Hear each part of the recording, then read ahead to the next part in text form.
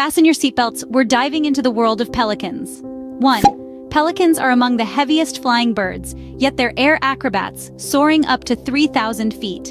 2. They eat anything, from fish to small birds and even turtles. 3. They don't store food in their pouch, contrary to popular belief.